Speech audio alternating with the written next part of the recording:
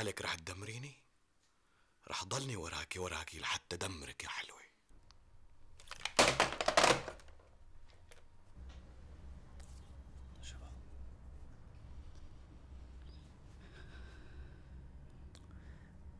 إيه يا هيفاء كيفك أنت فارس؟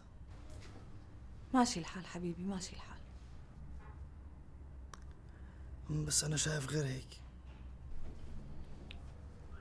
يمكن وسيم سبب بيناتنا شرخ. أبو طول الوقت هربان ما بده يشوفه. وسيم متعلق فيه كتير. عم بيطالبني بده يشوف أبوه. قصة. طيب. إذا بتحبي أنا بحاكي لفارس بحكي معه. لا لا أخي لا لا أنت ما تعذب حالك. فعلج لا تعالج ما في منه أمل هاد. لك كيف وسيم ليش ما عم تجيبيه معك؟ صاير عم بشتاق له لهالملعون. يقبر قلبي يا جلال شو فهمان؟ كل يوم بيطلب مني اقرا له قصة بيعرف يعزف على الأورج بيعد الأحرف بيقرأ. بتعلم كم كلمة إنجليزي. thank you goodbye come here. هدول. اي بابا لك يا حبيبي. يعني ليش ما جبتوا لنا ولد كنا ننشغل فيه أنا وأمك بهالوقت هذا؟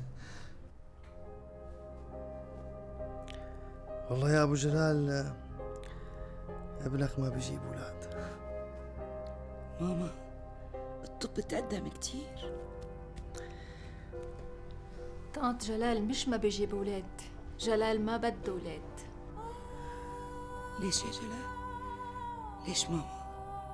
بزعل منك.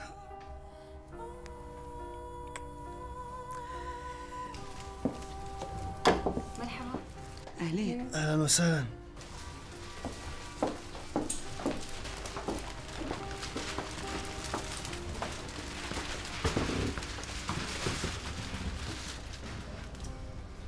سلامتك أستاذ. الله يسلمكم وفرحني فيكم تفضل.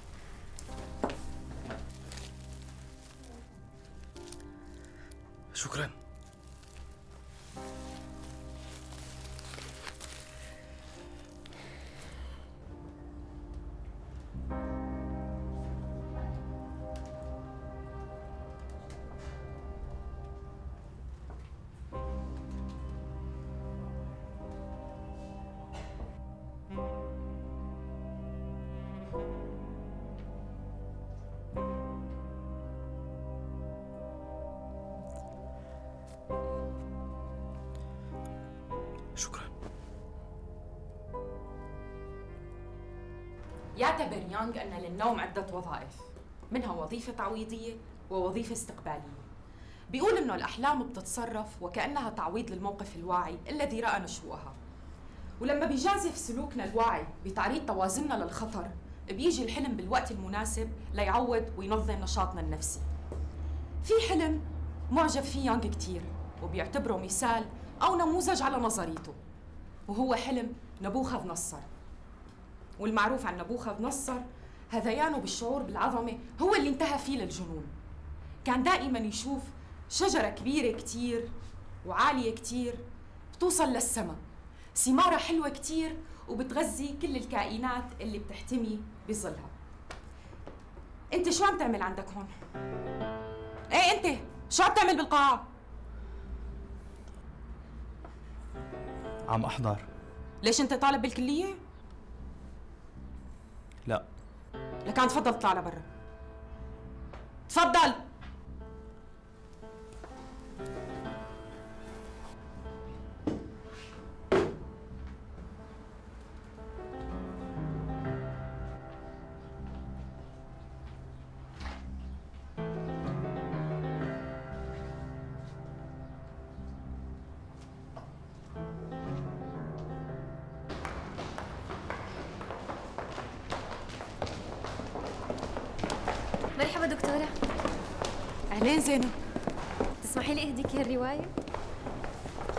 الكاتب اللي صارع الدنيا. شكرا. دكتورة أنت بالنسبة إلي قيمة كبيرة. شكرا زينب. بعد ما توفى المرحوم جوزك كتير تغيرتي. ما في شي بيضل على حاله. كل شي بيتغير. بس حضرتك مثال أعلى للقوة بالنسبة إلي. ومنك بستمد ثقتي بنفسي. بصراحة موقفك معي بخصوص الدكتور فاخر خلاني أحس إنه الإنسان ممكن يكون قوي لحاله. ما بعرف بس يمكن لأنه كان دايما عندي إحساس إنه غياب بابا عن حياتي بحسسني بالضعف وإنه لو كان موجود ما كنت تعرضت لكثير من المواقف. دكتور رجعي مثل زمان والله كان درسك غير شكل. دكتورة دكتورة شاكر بغرفتي. جانن مدري شو صاير له عم يحاول ينتحر. مدام أنا اطلعت على الملف الطبي للأستاذ جلال. هو بيعرف إنه رح يعيش بين ست شهور بالسنة؟ للحقيقة لا. غريب. مع إنه بأوروبا عادة بيصارحوا للمريض صحيح. بس أنا منعتهم يصرحوا طيب ليش؟ لأني بكره هيدي الطريقة. بس لازم يعرف. الهيئة حضرتك عندك نفس الرأي. إنه يعرف أحسن من إنه يحس حاله مخدوع. يكون مخدوع أحسن من إنه يعرف. دكتور جلال طول حياته بيحلم إنه يرجع لوطنه ولأهله. كان عنده نوستالجيا حنين لكل شي. فبترجاك قد ما كانت عدد الأيام اللي عنده إياها تيعيشها. خليه يعيشها بسلام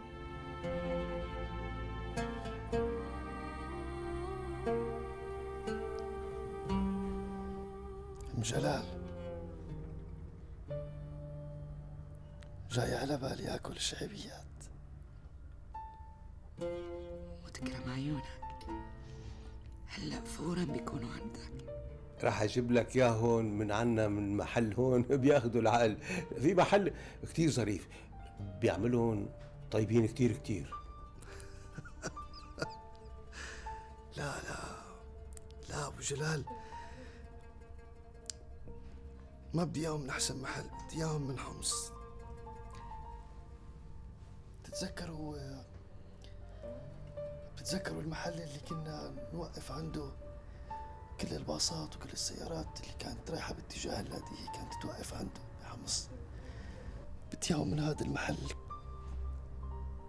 كان يقدم شغلة آه والله نسيت شو اسمها بس آه هي هيك كبيرة. و وبتشر قطر. بس طيبة كتير من عيوني يا أمي. من حمص. بسيطة. كمان هي مقدور عليها. لك شو بنساوي بنوصي محل تبع سفريات. بيجيب لنا اياهم من أحسن محل بحمص يا حبيبي آه، قل لي آه، قديش بدك 10 كيلو 20 كيلو 30 كيلو أوه.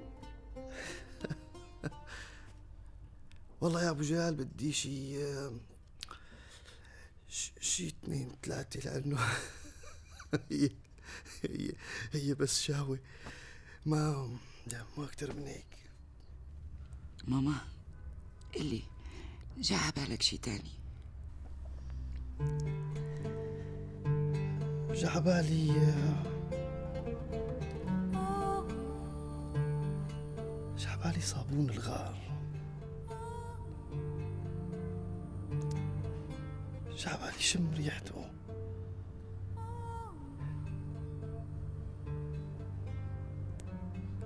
تتذكري يا ام جلال لما كنا صغار كنت تحمميني فيه أنا وروبا وهيفاء. و...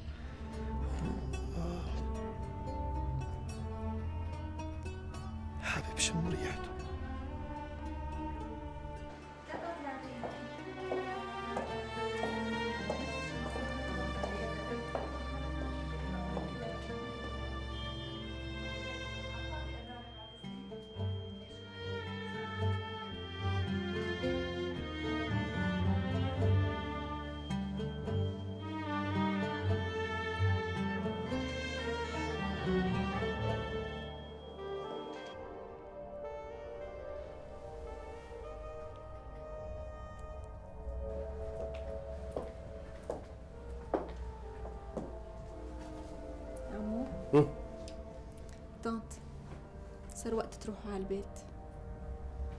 أوامر الدكتور. لازم جلال يرتاح. بتعرفي جلال شو مشتهي مشتهي شعبيات وصابون غار. يا عمي بحق له يتدلل عليكم مش ابنكم الوحيد. بس ابننا الوحيد. هذا جلال. جلال اللي ما في مثله اثنين بالدنيا. عم جلال شبكي هلا يعني بركي سمعوكي هيفا وعروبة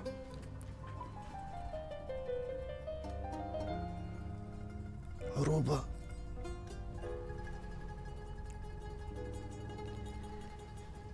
عروبة أختي الصغيرة. أمدنا بحصان؟ كانت تقعد على ظهري من الصبح للمساء وهي عم تشد لي بشعراتي. كانت تمسكني من إيدي وتجرني غصب عني. حتى أخذ مشوار على البسكليت. بعز البرد. وبعز المطر. حروب هلا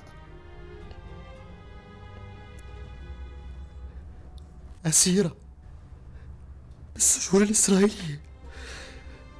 هلا أسيرة.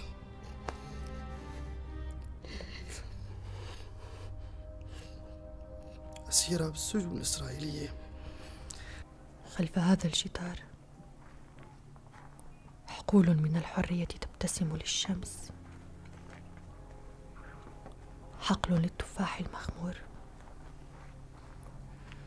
حقل للزيتون المنثور.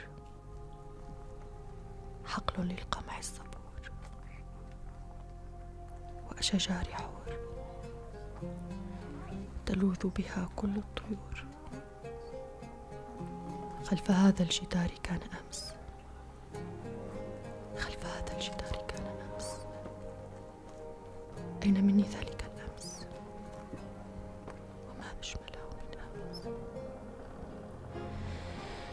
لكن خلف هذا الجدار.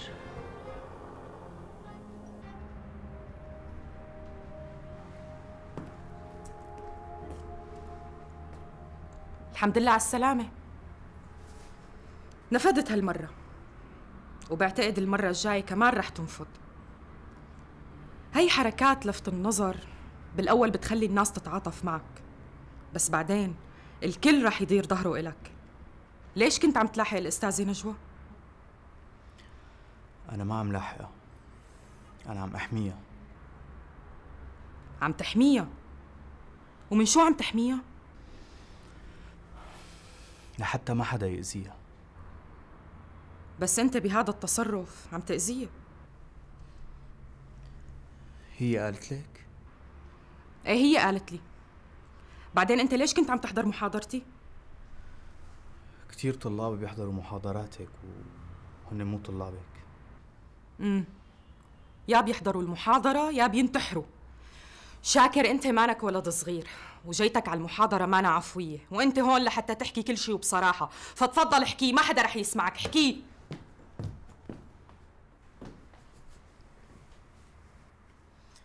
ما عندي شي أقوله وين السكينة؟ أي سكينة؟ يلي قطعت فيها شرايينك.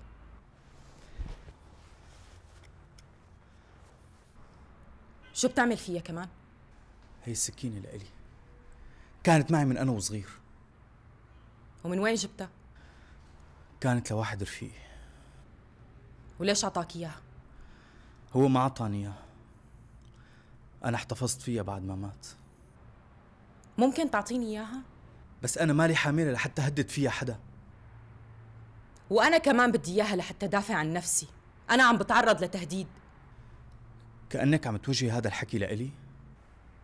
بصراحة بعد ما عرفت إنك عم تلاحق الأستاذة نجوى قلت لحالي ممكن كتير تكون عم تلاحقني. ولا شو هالصدفة العجيبة هي إنه نحن الاثنين عم نتلاحق بنفس الوقت؟ أنا ما عم لاحقها. أنا ما بدي حدا يأذيها. بدك ترد لها الجميل؟ أي جميل؟ شاكر في حدا قال لك إنه نزعه القتل؟ ممكن تكون استعداد وراثي؟ ما فهمت. لما الأب بيكون عنده الاستعداد ليقتل ابنه والأم عندها الجرأة لتقتل الأب لحتى تحمي ابنها ممكن كتير يكون الابن حامل نفس المورثات من الطرفين. الاستعداد للقتل والجرأة على تنفيذ فكرة القتل. بس أبدا ما عنده نية إنه يقدم على فكرة الانتحار. أنت عم ترد الجميل لأمك بصورة نجوى. وعم تستخدم الانتحار لحتى تضلها خايفة عليك من الموت. لك انت جلادة. انت كذبة كبيرة. الناس كلياتها مخدوعة فيكي. وأنا الوحيد. أنا الوحيد اللي عرفتك على حقيقتك.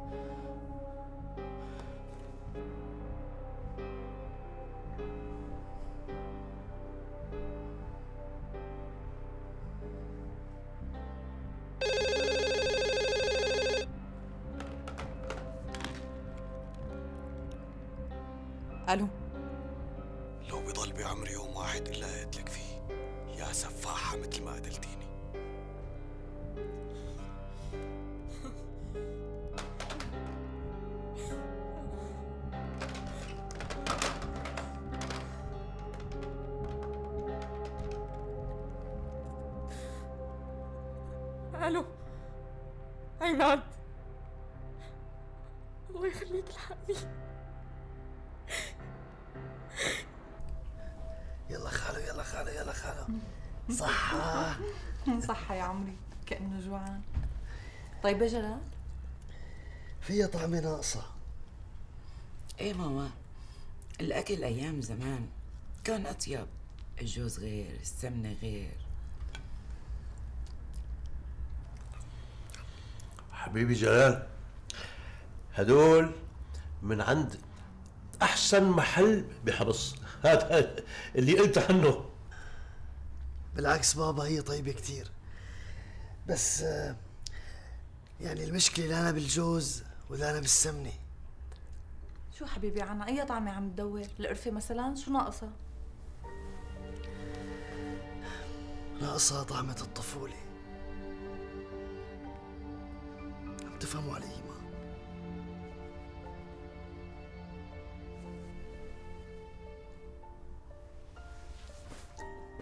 يلا أم جلال. يلا. لازم نروح على البيت. يلا. يعني لو بيصح لي أنا ضل عند ابني ليل نهار ما بقول لا. طاط لو ما إجريتي بيوجعوكي كنت بإيدي كنت أنا رحت مع عمو على البيت. بهيك حالات المرأة أكثر وحدة تفهم على جوزها شو بده. يلا خلونا نمشي لكان حبيبي نحن إن شاء الله بكرة أكيد بنجي. أهلا وسهلا أهلا وسهلا. ماما. بدك شي تقبرني بدي سلامة قلبكم وانتبهوا على حالكم. بس أنا بدي بوس وسيم. تعال عندي أشوف تعال عندي خالو تعال عندي. أوب أوبا. بكرة ناطرك أنا إيه؟ تعال عندي بكرة إيه؟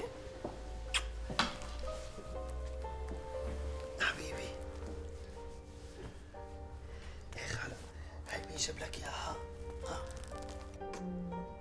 خالو بكرة بدي أجيب لك سيارة كبيرة. وطيارة وشو بدك أنت كمان؟ آه بسكليتة خلاص وأنا راح أجيب لك كمان. بسكليتة هدول الشعرات الحلوين لمين؟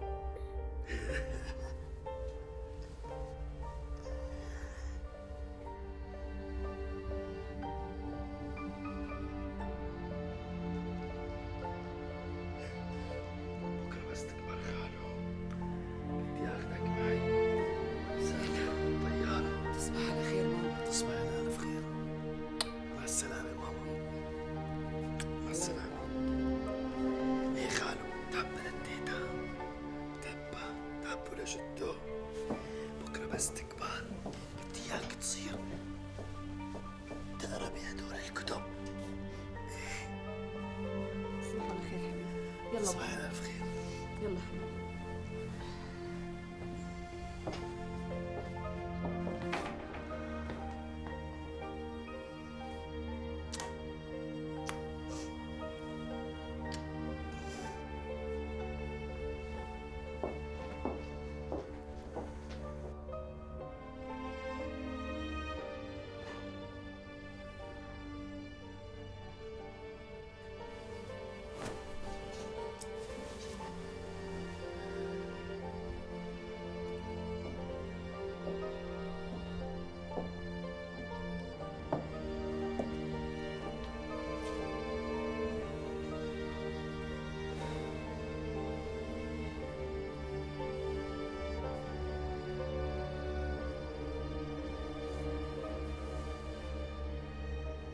بالنسبة للأستاذ فاخر الشرطة ألقت القبض عليه وهو حاليا قيد التحقيق. الليلة ما تلقيت أي اتصال فبيكون المدعو فاخر هو صاحب الاتصالات. وفي حال حصول أي اتصال أرجو منك دكتور أنك تاخذي وتعطي مع المتصل لحتى نلوط منطقة الاتصال. شكرا كثير يا جماعة أنا آسفة يعني لبكتكم وعذبتكم دكتورة أنت مهددة. ومن حقك تحمي حالك. ونحن من واجبنا نحميكي على كل الأحوال ما بعتقد أنه في شيء بيخوف. البناية محروسة والهاتف مراقب والمشتبه فيه موقوف. يا هلا يا أبو ناصر. كيفك؟ مشتاق كيفك أنت؟ أنا بعرف إنه أحبابك كتار وأصدقائك بس ما بصير هيك، المستشفى تحولت لمهرجان. هي أول مرة بتصير. أنا مضطر أمنع الزيارة لأكثر من شخص واحد. خلص حقك علينا يا دكتور ولا يهمك. بعدين عم بسمع إنك ما عم تأخذ الدواء بوقته. لا يا رجل هذا كلام عدوين طيب. أنا تمام ولا يهمك. عن إذنكم يا هلا. إذنك معك. شرف تفضل. كيفك؟ يا أبو ناصر. يا أبو ناصر. أوامر الطبيب يا أبو ناصر. بنرجع لكلام صديق مشترك بيناتنا هو فوكو.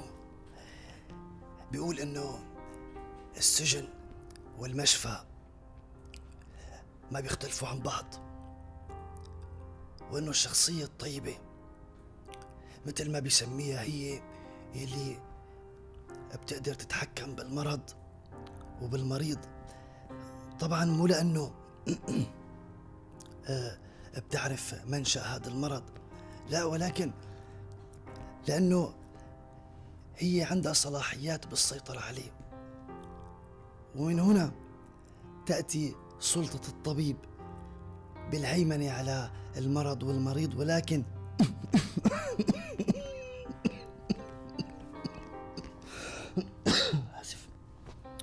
بالهيمنة على المرض والمريض ولكن بإطار إنساني ودوافع نبيلة من أجل إنقاذ البشرية. معقولة يا جلال تكون الحياة بالنسبة إلك موضوع واحد؟ الحقيقة الحياة بالنسبة لي أكثر من موضوع. عفوا. جلال السيجارة ممنوعة. بعرف. كرمال صحتك. خايفة من خايفة من الطبيب. لا. بس شعلي لي.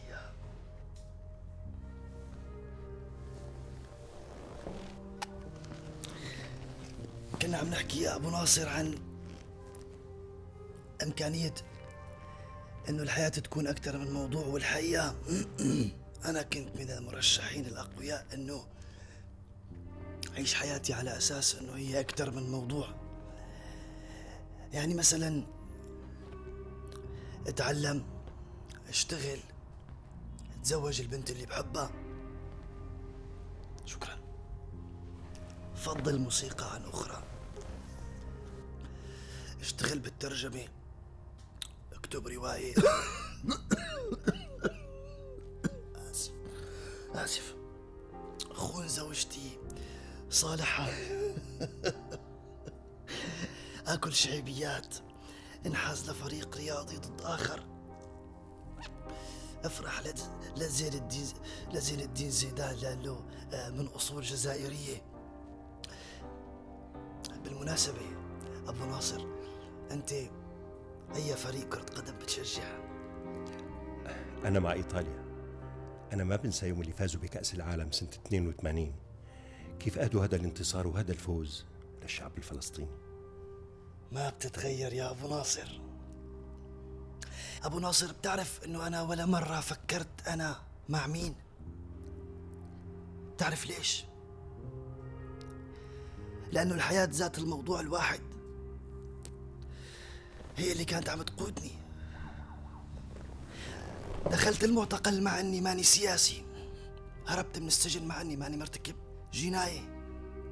عبرت الحدود مشي على الأقدام مع إني ما بحب المغامرة. اشتغلت مراسل حربي مع إنه أنا أساسا بشتغل بالصحافة الأدبية. خط الحرب بالاجتياح اللي صار على لبنان مع إنه أنا بحياتي ما حملت بندقية ولا قتلت وغادرت بيروت مع إنه أنا بعمري ما كنت موجود فيها. ركبت بالباخرة مع الفصائل الفلسطينية مع إنه أنا عندي دوار البحر. ولما قررت اكتب روايتي الأولى اللي هي بتحكي عن أكثر من موضوع لقيت حالي وبدون إرادتي. إنه الرواية عم تحكي عن موضوع واحد. وعندما انتهى هذا الموضوع الواحد فوجئت فوجئت بإنه أنا عم صارع خصم. ما في قوة بالدنيا ممكن توقف بوشه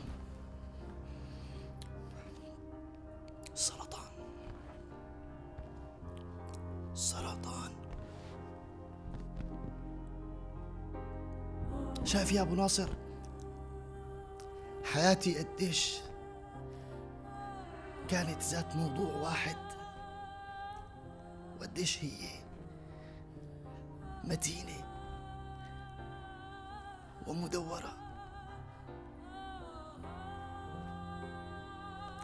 من السجن إلى الحجر الصحي. إذا أنا مالي عايش حياة من موضوع واحد. أنا أسير الموضوع الواحد ولذلك. أنا قررت ولأول مرة في حياتي إني أصنع قراري بإيدي. بإيدي أنا. أنا لن أخضع. للعلاج الكيماوي. جلال شو عم تحكي؟ سيدة سيدة أنا لن أخضع للعلاج الكيماوي. لن أخضع لسلطة العلاج الكيماوي. خلص. بس يا جلال العلاج عم يتطور. أبو ناصر أبو ناصر ما بيفيد مشان شو؟ مشان شو؟ مشان نعيش سنة زيادة. يا سيدي.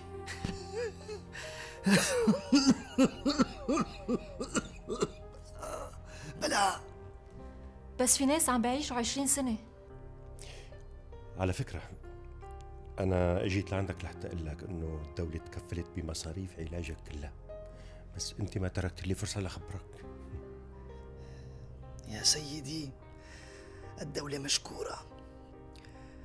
بس حقيقة أنا تعبت. من الدواء. تعبت من ضخ الحياة بجسمي المريض على طريقة الجرعات. أنا جسمي ما عاد يتحمل جرعات. أنا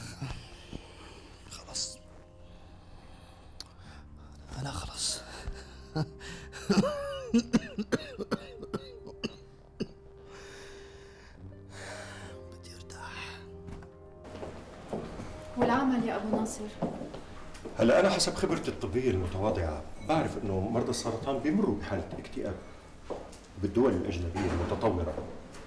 وجود الطبيب النفسي بيكون عنصر مشارك في مرحلة متقدمة من العلاج. هلأ بجوز يكون وجود الطبيب النفسي إلى جانب جلال يساعد على تقبل العلاج؟ بس جلال ما بحب الطب النفسي. ومثل ما بتعرف هو بيعتبره نوع من السلطة. هلأ ما ضروري يعرف إنه طبيب نفسي. كيف يعني؟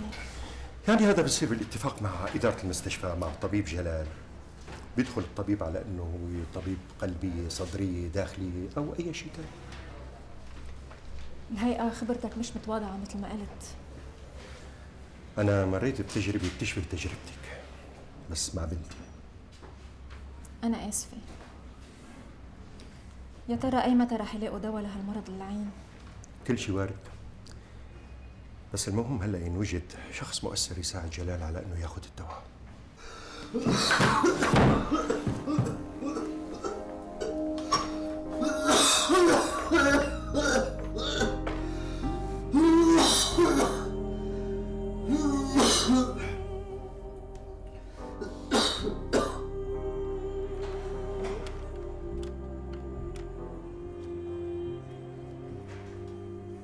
ألو هيفا؟ خير سيدة؟ جلال صار له شيء؟ لا لا اطمني. بدي منك بس نمرة الصبية يلي بتقرا بفارس قصدك زينب بنت أخته لفارس؟ مزبوط هيها. بس هي بنتها لنيسان. بعرف. وليش بدك نمرتها؟ بعدين بخبرك. طيب مثل ما بدك. عم تسمعيني دقيقة بس دقيقة. سجلي عندك. ألو أيوه أه، زينة موجودة؟ مين بيريدها؟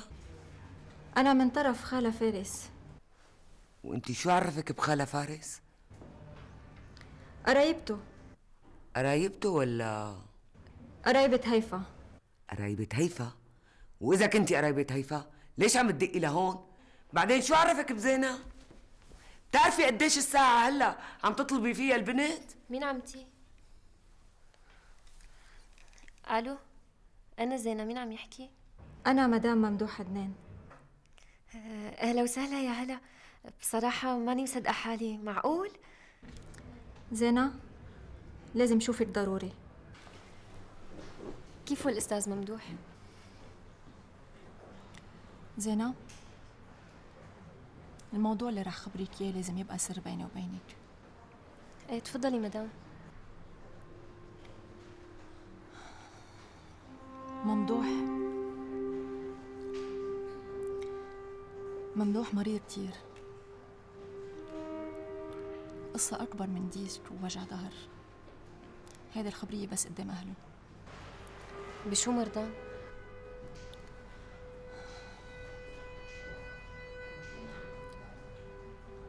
سرطان.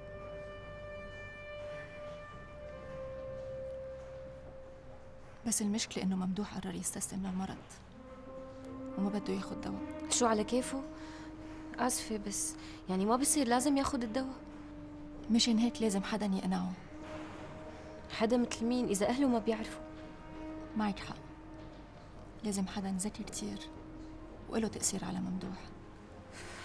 هي رح تكون صعبة لأنه الأستاذ ممدوح هو اللي له تأثير على الكل. حدا يرتاح له مثل ما الناس بيرتاحوا ل طبيب نفسي. خلص خلص عندي. يعني بعتمد عليكي؟ إيه دكتورة رحال هي أحسن دكتورة بالبلد. هي أستاذتي بالكلية وبتقرأ له للأستاذ. أنت ليش حكيتي لها؟ هي وحدة شريرة. شاكر أنت شو عم تعمل هون؟ أنت لازم تبعدي عنها. هي وحدة مدمرة. بدها تدمر لك حياتك. عن مين عم تحكي؟ دكتورة رحال. شاكر الدكتورة رحال رفيقتي وكان لازم أحكي لها. أنا ما رح أسمح لها تدمر لك حياتك. ما رح أسمح لها. يا شاكر أنا موعدة خطيبي هون. هلا إذا إجا وشافك بيعمل لك مشكلة. خطيبك؟ إيه خطيبي.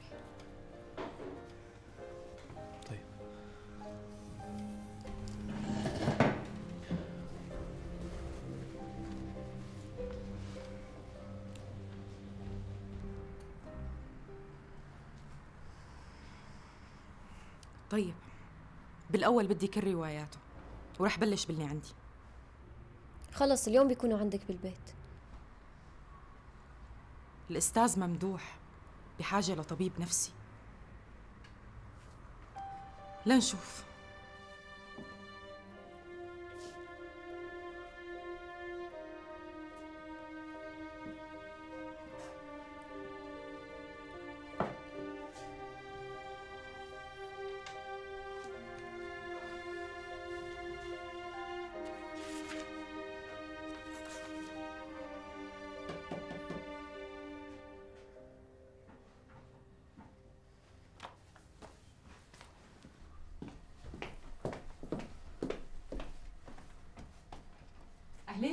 تفضلي. دكتورة جبت لك الروايات. هي رواية ليل أزرق وهي اجتياحات. شكرا كثير يلا عيدي لي نشرب لنا فنجان قهوة. دكتورة والله تأخر الوقت وهلا ما بيشغل بالي علي. ماشي. ويسلموا كثير الله يسلمك. يلا عن إذنك. مع السلامة. الله معك.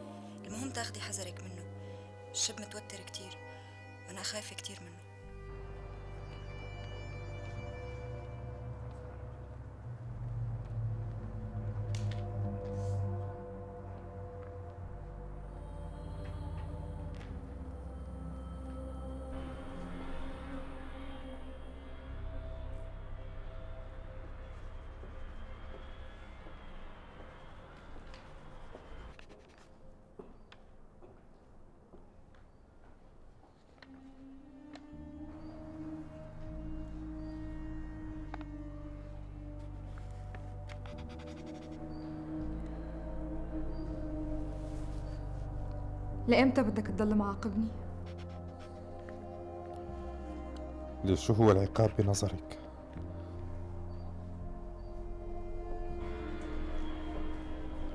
العقاب إنك تقاطعني بطل تحكي معي وتختار حسنة بدل ما تختارني أنا فهم إنك مزعوجة؟ أي أم بتنجرح إذا ابنها فضل عليها وحدة تانية؟ شو كنت لازم ساوي لحتى أرضيك؟ فهمني. شو كنت لازم ساوي؟ كيف كنت لازم أتصرف من الأول؟ ممكن تقلي؟ خليك بعز البرد على العتبة ولا خلي أم ناظم تعطيك لناس تانيين؟ لو تعرف شو صار فيني لحتى أحتفظ فيك. لو تعرف شو سويت لحتى أحتفظ فيك. مو ذنبي إني ما أكون أمك اللي حملتك تسع شهور مو ذنبي. بس أنا أمك. أنا أمك أكثر منها أنا أمك غصبا عنك. وما رح خلي حدا بالدنيا يحبك أكثر مني. ولا يهتم فيك أكثر مني. عم تفهم؟ عم تسمع؟ عم تفهم ولا لا؟ ولا حدا. ولا حدا.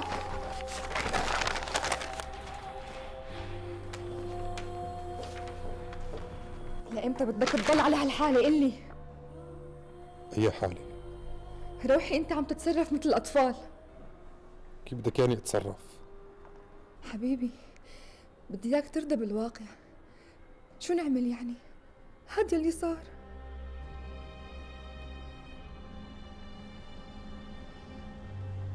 ماشي. بس بدي إياك تتصلي بنظيرة وتخليها تجي اليوم. نظيرة؟ إيه نظيرة. بدي إياها تجي اليوم قبل بكرة. بنتصل بس ليش؟ لأنه الواقع بيقول بالهوية مكتوب إنها أمي.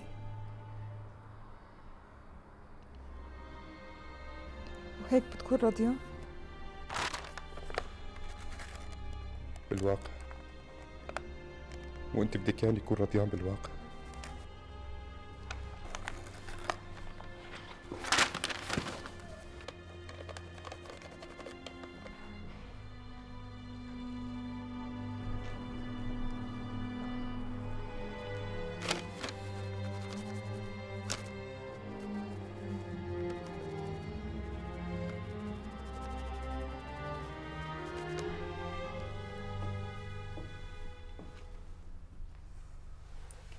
مو لابقين علي مو هيك ماما؟ بلا لابقين كتير. حلوين كتير.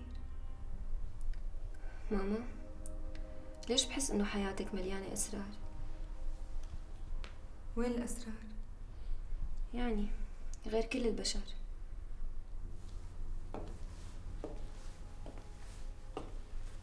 انت هيك شايفة؟ وأنا كمان بحس حالي غير شكل عن رفقاتي. يعني عشت من دون أب. بس بنفس الوقت بحسه دائما موجود بحياتي لا ومو بس هيك. ورضاتي من ستة لأمك كمان. وأخي مو أخي بس أخي. وعمتي متجوزة من خالي. وخالي متجوز من اللي كان مفروض تكون عمتي لو انتي ما تجوزتي بابا. زينة كأنك عقدتيها شوي. شو بكي؟ يلا بسرعة طلعوا الشنطة على الأوضة هي مو خالتي نظيرة؟ نادوني روحي لشوف الحمد لله على السلامة يا ست نظيرة. الحمد لله على السلامة. صدقيني البيت بلاكي له وحشة. قلت لحالي نظيرة وين بدها تروح؟ مرجوع على بيتها. لهون. مزبوط. بيتي وبيت ابني. وينه روحي؟ الحمد لله على السلامة نظيرة. الله يسلمك. لحد هلا ما حدا نادى لروحي؟ ابني الوحيد. ابنك؟ ابني وابن المرحوم. المرحوم؟